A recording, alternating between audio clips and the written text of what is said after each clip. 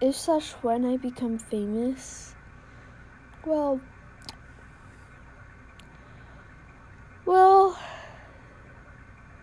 now I'm gonna have a, well, then I will have a ton of notifications saying, Oh my goodness, you're here. Why are you here? Oh my god, hi. Notice me, senpai.